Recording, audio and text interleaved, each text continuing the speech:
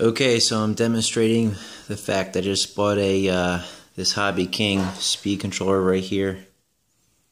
60 amp speed controller, standard motor ends on it.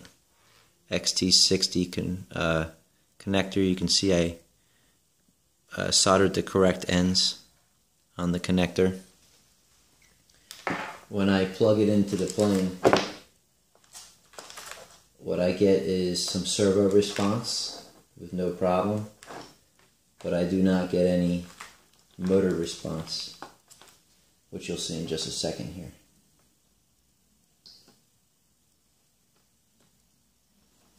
Let me just get my uh, proper model here. Okay.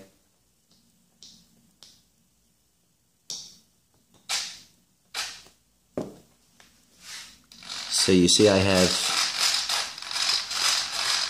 servo response, but I have no motor response.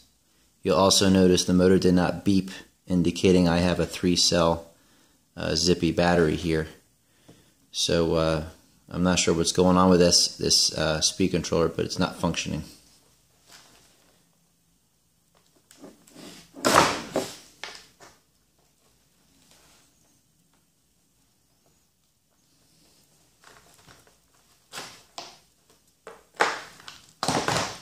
So I'm going to replace it now with a Hobby King 30 amp just for a test.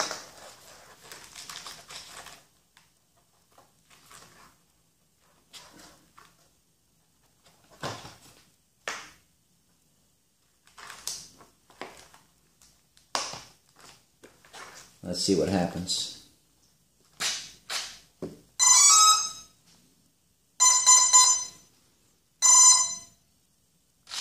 So now you see I have all servo control.